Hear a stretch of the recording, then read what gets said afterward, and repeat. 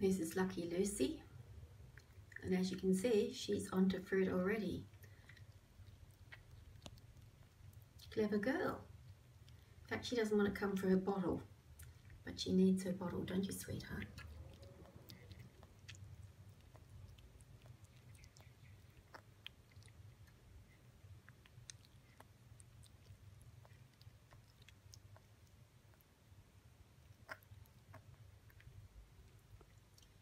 That's what happens afterwards. They spit out the chunks of fruit after they've pulped them on the roof of their mouth. They're called spats. Coming, sweetheart? Milk time. Milk bar's open.